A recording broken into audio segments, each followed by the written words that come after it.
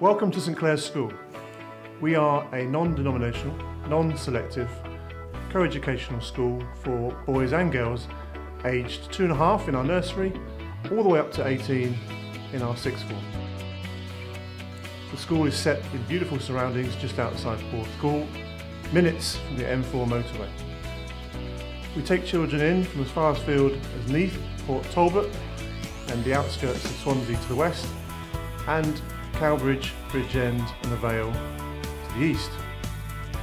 Our core values are achievement, challenge and excellence. And our mission statement is to ignite a passion for learning in all of our children, not just during their school career here, but in preparation for further and higher education and the world of work that is truly lifelong.